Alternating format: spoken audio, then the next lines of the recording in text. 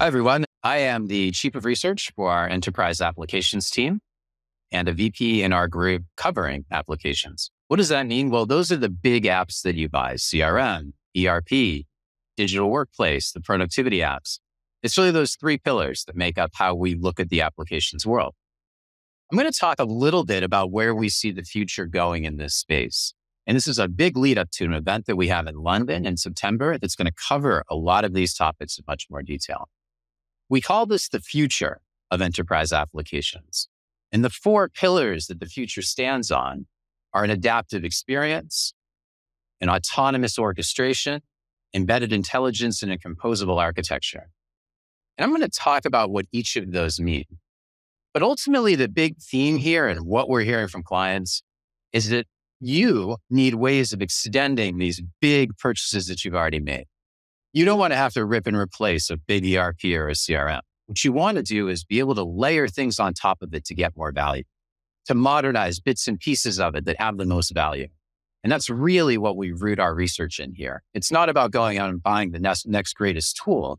It's about getting more leverage out of what you have today through automation, through a better experience, and through a better underlying architecture.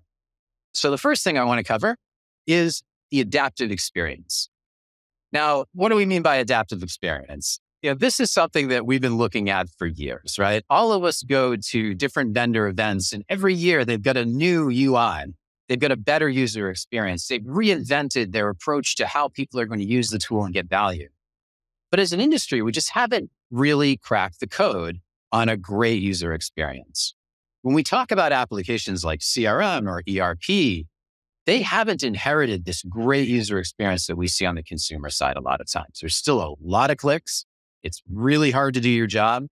And you're going from screen to screen to different application on a swivel chair between them. And so the user experience for enterprise applications just hasn't caught up to the end user world. So when we talk about an adaptive experience, we mean things like, what if the user experience you know today completely goes away? What if it becomes a prompt based experience, for example?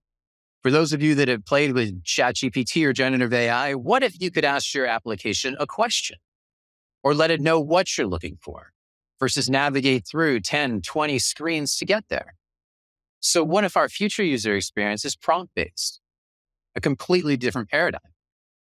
We've talked about personalization for years, but what if it's actually role based? What if the person that's maybe doing a job in the field sees a very different user interface to the one that's doing research and digging into the numbers? But that happens automatically based on personas that are defined, not on lengthy configuration and design sessions. A system that learns how to really interact with you the way that you want to work.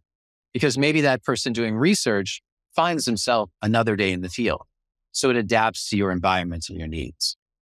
That's really what we're talking about when we get to an adaptive experience. We get a lot of great research, really cutting edge stuff that's looking at that.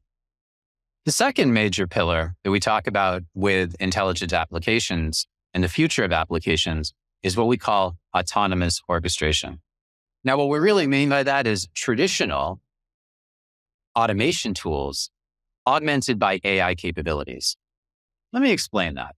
So, in the past, you might have used RPA solutions, robotic process automation, here and there to close some gaps, put some band aids on some broken processes, to automate things with bots in individual places, and maybe even went as far as to have a center of excellence for RPA to pull it all together.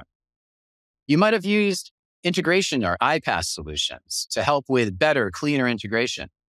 You may have more recently started using low code or no code development tools to extend and automate different pieces of the puzzle. Maybe you even have a BPA platform. You're doing business process automation and some level of process mining to try and find where the bottlenecks are. You might have one or many of all of these different automation tools. But the challenge, but also the opportunity in the future is how do you pull all of these things together to really provide a winning future proof automation solution. All of the different vendors offer pieces of these puzzles, but how do you find the right combination of these vendors to navigate this big, complex, diverse ecosystem of solutions? That's one big topic that we're talking about at our event in September And we're talking about it when we release the concept we're calling business orchestration and automation technologies, EOAT, BOAT. With that, we're going to move on to the third pillar. And this is again going back to the future of enterprise applications and what we're driving towards.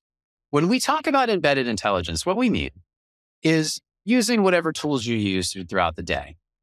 But rather than having to go someplace and look up, say, key information about a customer order or key information about a purchase order or something in your supply chain, actually having that intelligence at your fingertips in the applications that you use.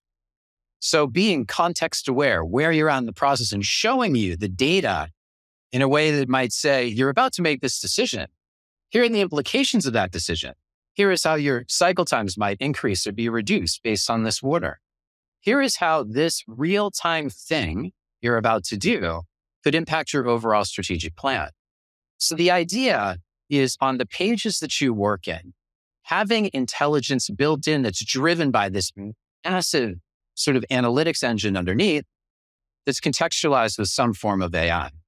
And so this idea being that you almost have a coach that's working with you on a day to day basis within your application to help you make better decisions without having to go out and do all the digging for that anal- analytics yourself.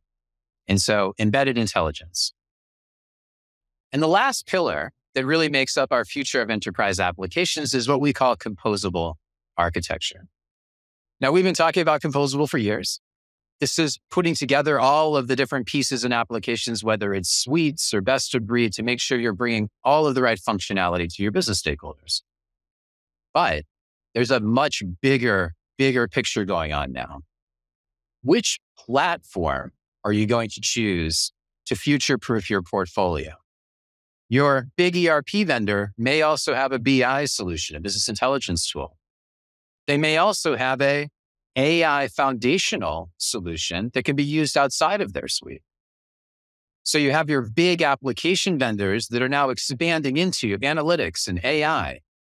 And when you have two or three major application vendors, what does that start to look like from a future proofing standpoint? Whose AI tool should you use? Whose analytics tool should you use? Who's going to be your big strategic partner in one area? But then how do you reduce the risk of only sourcing with one vendor by breaking that up. This is the decision that a lot of CIOs and application leaders are really struggling with, right? Is how do we build the best future proof platform?